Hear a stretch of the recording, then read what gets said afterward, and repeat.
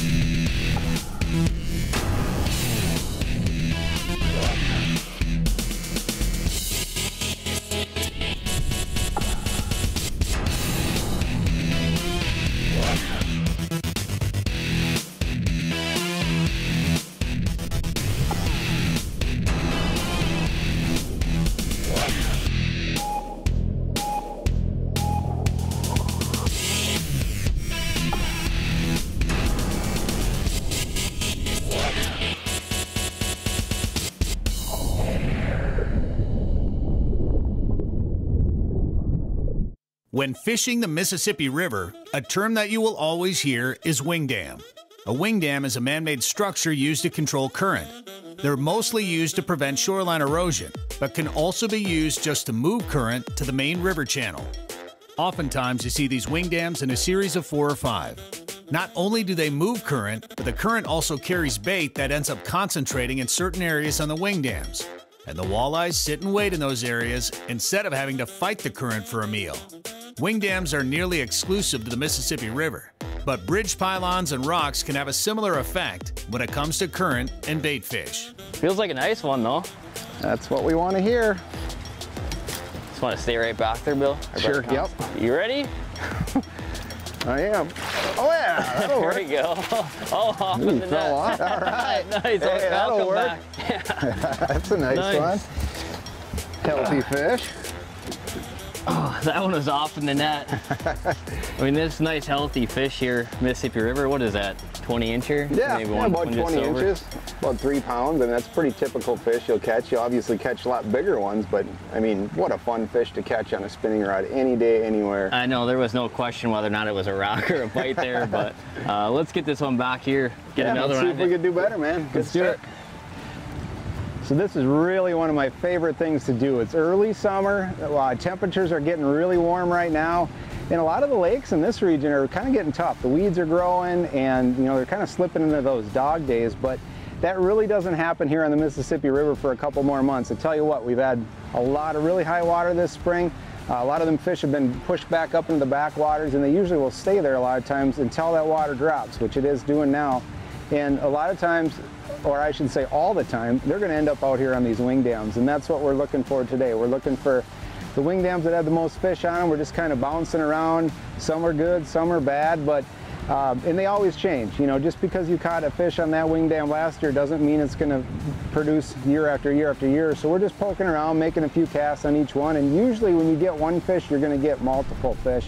Those walleyes really love setting up on them dams. They have kind of everything you need. There, there's current, and there's usually always bait. Know, great place to look for walleye. If you're fishing the Mississippi River in the summer, you better be looking on the wing dams. The next bite is brought to you by Mercury Marine. Go boldly. Schaeffer's Specialized Lubricant. Putting equipment first. Nitro Boats. Performance Fishing Boats. Bass Pro Shops and Cabela's. Your adventure starts here. Berkley. Your fish, our science. And Power Pole. Total Boat Control. Closed captioning for the next bite is provided by Precision Trolling Data, the authority for crankbait diving depth information. Relatively speaking, the fish holding zone on a wing dam is very small. So getting your bait into the zone and fishing it clean is extremely important so you're able to capitalize on every cast. The current makes this zone even more difficult to hit by pushing your bait downriver faster. So when it comes to casting crankbaits on a river system, one of the baits that I really believe it has really shined and is kind of made um, for this situation and has kind of been our go-to uh, here today is this money badger. And to me, you know, one of the biggest attributes of the money badger is the weight transfer that's inside that. And this has a tungsten ball that shifts from forward to back as you cast. A lot of times you see this in jerk baits, but having that tungsten ball in there really helps this bait cast like a dart.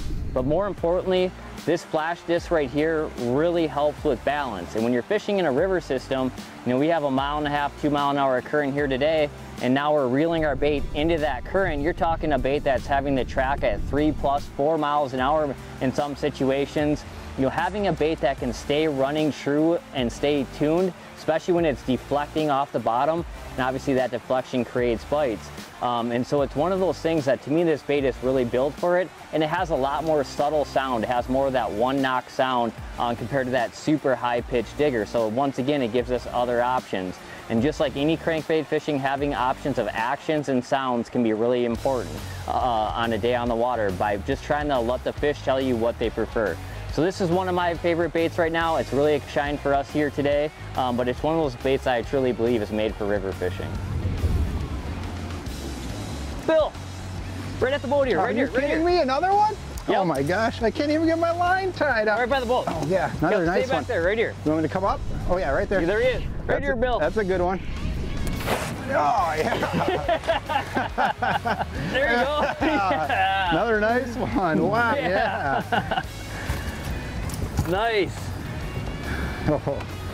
oh yeah, it's a solid fish there, buddy. Need a pliers?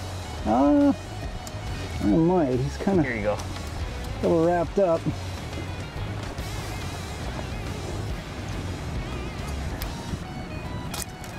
Hey, that's another really nice fish, man. I tell you what, this wind has really picked up in the last, I don't know, hour or so.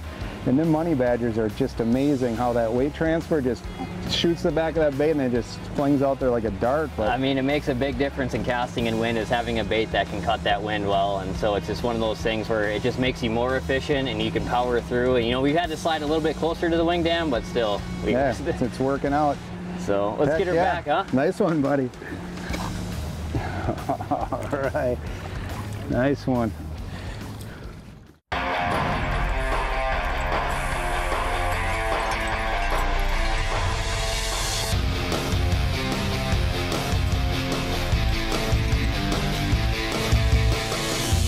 Control, presented by PowerPole. 20 years of trust evolved from Total Boat Control. You know, the use of a power pole for the northern anglers just become almost a staple. Add on the drift paddle to it, which for us in the north is such an important tool in a lot of different trolling applications, obviously. You know, if you want to troll crankbaits or crawler harnesses and the waves are big and you're just drifting and, and trolling too fast, you can use that drift paddle to slow you down to uh, achieve the speeds that you really want to. But the other application for the drift paddle that I want to talk about here a little bit is in casting situations. Uh, something where it'll allow you, if you're using the drift paddle, to slow down in casting situations and cover the water the way you really want to. So I'm casting crankbaits to a rock shoreline right here. And basically you can actually see here, I have the drift paddle down. So I'm just using the wind to drift me down this bank. And basically I have that paddle down to slow me down just a little bit so I can cover it the way I want to. Um, obviously, if you got some wind like we have today, you might drift too fast and you might be making about half the amount of casts on this shoreline is what you'd really want to. So not only in trolling applications, but also casting applications, take use of the drift paddle if you have a power pole. It's a fantastic tool to allow you to fish more methodical and catch more fish than what you would if you're drifting too fast. So a lot of times when you, you come to fish these wing dams, you maybe haven't ever been to one of them and you really want to take a little bit of time and just kind of see how they lay out. Uh, oftentimes your map card might have it on there, you'll see a line and they'll have it marked, but what I've been finding is they're not always exactly right on the money. So what I like to do is just kind of go out towards the end of it, don't get in too shallow where you might hit your engine on it, uh, but just simply idle over it real slow and then you'll see it like you see now here it's coming up coming up. Now you can see we're dropping off the front you can see the scour hole where a lot of those fish are going to be sitting. Uh, but what's really important now you can see it on side imaging plain as day. Now I can see it on both sides so what I'm going to do is I'm going to go as far over to the left as I can I'm going to put a waypoint there and then I'm going to go as far over to the right as I can. I'm going to put a waypoint there. And now those will show up right on my map here and you can see it's not exactly where it was shown on that map card. So what's really important about that now is when I go set up to start casting, now when I spot lock, say I'm not feeling rocks on every cast, well I'm probably not getting back far enough to it. So now I just, if I really want to know where it is, I just take my cursor, scroll back to it, and I can see it's 170 feet away. Well, I can't cast that far, so so I know I just need to slide my boat back, say 30, 50 feet off of it, and uh, you're gonna make a lot more cast in the strike zone if you take a little time and know exactly where that wing dam is. Bill. Oh, you got one? Yep. Oh, yep. man. I turned my head for a second, you catch a fish? It's right here. Hold on, I'm coming. Right here, Bill. All right.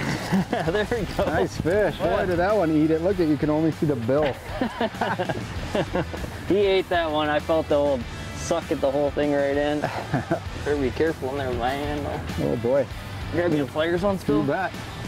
Right in the front here, right up front. Oh. There you go. Here, yeah, you hold his mouth open. I'll get in there so we don't hurt this guy. Right there. Try not to hurt this guy. There we go. Those Fusion 19 hooks are He wasn't coming nasty. They finally Hey, got that's a nice off. fish. Look at the colors on this, but honestly, this fish is probably in only a couple feet of water, though. I mean, this is a pretty shallow dam here. It looks nice though. You could just you could see it. It's showing itself nice. I really had a good feeling about it. Actually, I just broke a lure off and I was turning the other way, and you're like, I got one. Like, Well, come on, give me a chance. We also seen those couple right when we pulled in on side image, right up, right on the bottom face of that deal there on the wing dam. So it's kind of kind of intriguing from the start. For sure. That's definitely something I always look for. Like if I'm going to pick a dam, you want to see life around it. It's hard to see them on the dam Yep. because you don't want to drive right over it always. But when there's life around it, it's only a matter of time before they pull up like that one and eat. So Nice. awesome. Nice Let's get her back.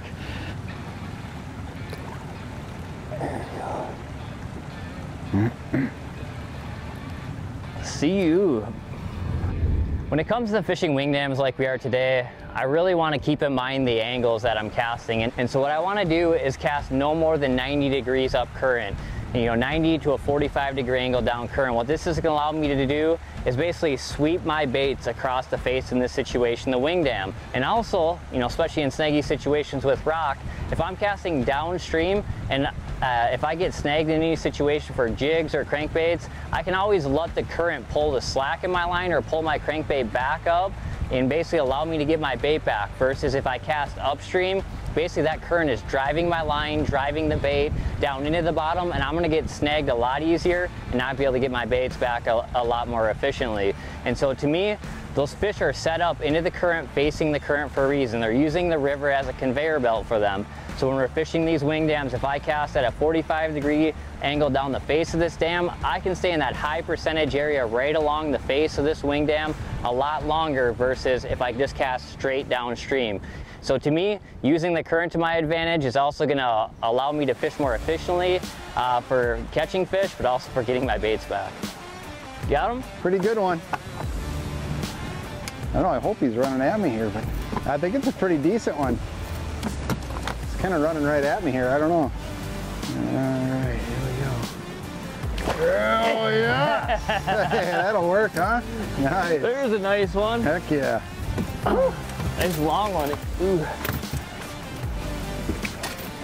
I mean, that's one thing about the Mississippi. You can't get down on yourself catching 14, 15 inchers because the next, next fish could be a 25 incher. Yeah, we knew we were going to get some good ones at some point today. I, uh, I had to sneak the fire tiger in there. Actually, I did notice the water was a little dirty, and so I did put the fire tiger back on. But you know, a lot of times you've been doing really good on white, and I feel like white, you know, those kind of natural looking colors are good when it's clean. Dirtier water, the fire tigers and the bright stuff again is going to be good. But yeah, when that first couple head shakes, I was like, oh yeah, it's big. But then it ran right at me. I was like, oh, maybe not. But Yeah, that's one thing about here. down real nice. You know, even though it's Mississippi River, you think it's always dirty, but there is cleaner spots. Like you can see right over there, it's a little bit cleaner, Mm-hmm. but it's just, uh, you know, maybe it's the wind or the shallow water coming across, but Probably. catch. Yeah. Nice, dude. Wouldn't mind doing that a few more times. Let's get her back. All right.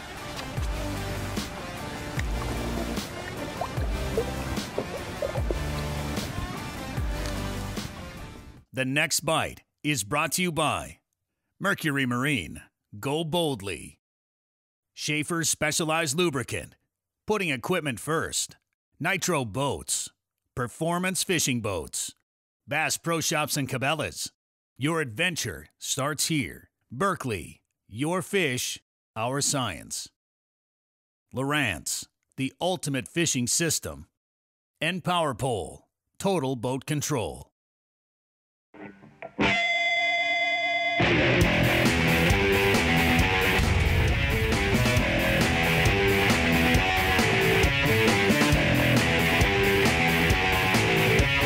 Topics, leading information and tackling techniques to make you a better angler. Presented by Mercury. You know, the Nitro ZV series of boats, whether it's the 19, 20, or 21 foot model, are fantastic choices for the northern angler. What are the must have options that I want to look for when ordering one of these boats?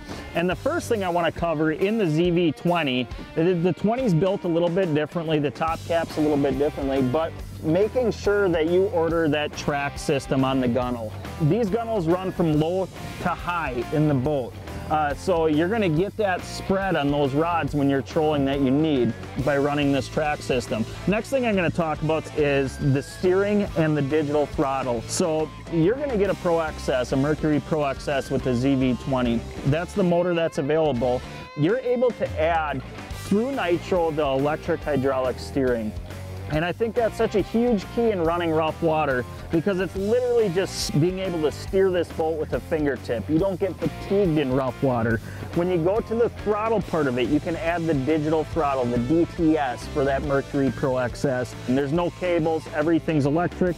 You're moving the throttle forward and the boat's moving right away. So just for the user, for the driver, the experience is gonna be better. So you can add that steering and the throttle into your ZV20 package. So between those two options, uh, really, there's so many good standard options on this boat that when you add things like that, you're just gonna even increase that fishing machine to be more of a beast. Structure in a river system creates current breaks or eddies that bring bait to fish. These areas congregate the fish, making them easier to target because they're slightly more predictable, especially on the Mississippi River, with tons of man made structures. So when it comes to casting crankbaits out here on the Mississippi River, like anywhere casting a crankbait, to me, for it to be efficient, I need to be able to cast it far because let's face it, especially when it comes down to deep diving crankbaits, I need to cast it far enough that it can achieve the greatest depth that it can on a cast, especially in these deep water situations like in the current that we're dealing with here on the Mississippi River. So the rod that I like to use is one of the longest rods that I'll ever use. This is a seven foot six medium.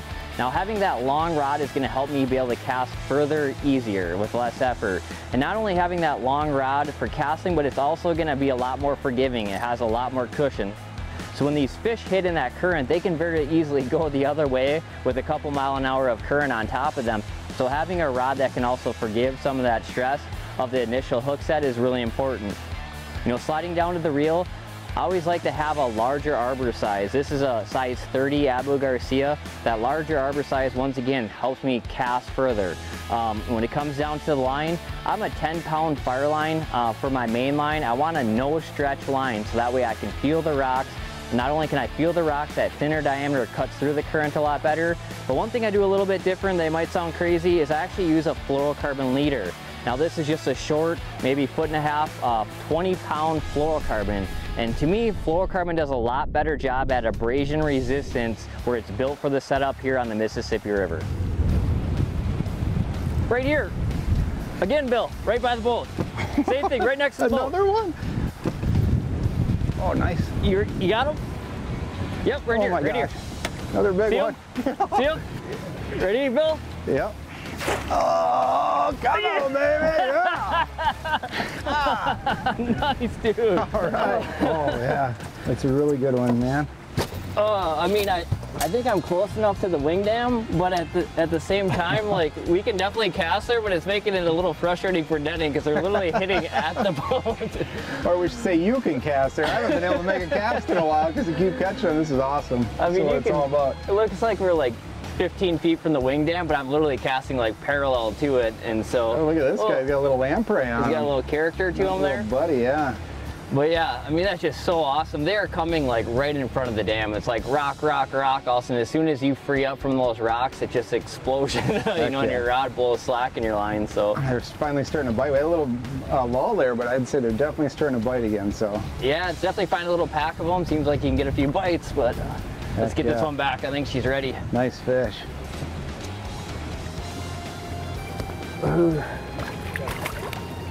See you later. Oh, just picking up Shimota's trash, apparently. He's trying to slow me down from the fish catching. What's Here's that, your that bait, Bill, if you want to retie so I can catch another one. Yeah. Fruit of balloons? Yeah.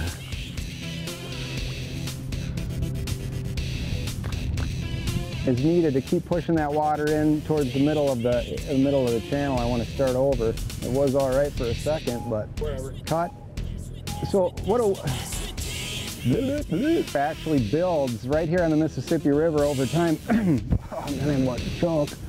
you just should just sit down, take a break. It was, it was okay. Lengthwise, about right. That's kind of what uh, what we found today, and, and I can't wait to get back out there. Okay, I got to do it again. It was good to the end, maybe, kind of.